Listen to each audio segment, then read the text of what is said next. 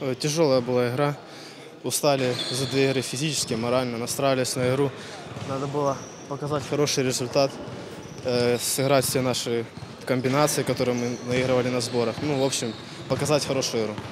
Да, начали в конце не все подать, а мы наоборот на усталости как бы не получалось, много потерь было, ошибок. Вот так. А о своей, о своей личной игре сегодня, что, что не получалось? Промазал много бросков. Так, в общем, там в защите пару раз пропустил.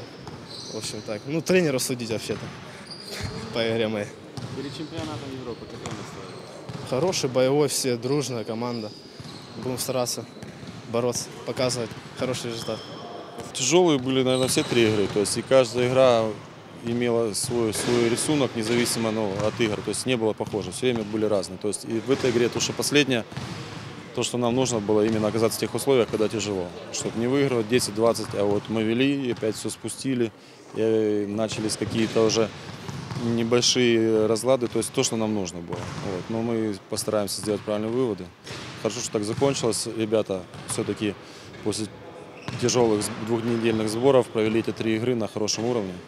Вот это очень приятно. То есть есть, есть какой-то рисунок, который вы смотрите, который мы хотели увидеть в защите, ну и в нападении. Ну, конечно, есть еще чем работать. У нас еще есть впереди время. Надеемся, что все будет нормально. Мы даже и ожидали и прогнозировали, что такое может быть только в том случае, если наши ребята где-то будут как такое не, недооценение, не- недооценят соперника после вчерашней игры.